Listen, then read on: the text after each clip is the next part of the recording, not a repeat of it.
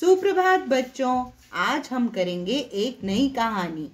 और आज की हमारी कहानी का नाम है डमडम नगर। सलमान और गरिमा काका के पास डमडम नगर गए। काका के मकान के सामने एक बड़ा सा बाग है।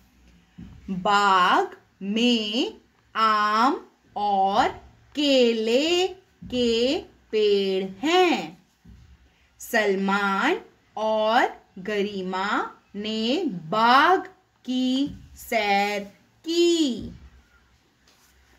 बाग की सैर के बाद काका सलमान और गरिमा को मेले ले गए। मेले में बंदर नाचा।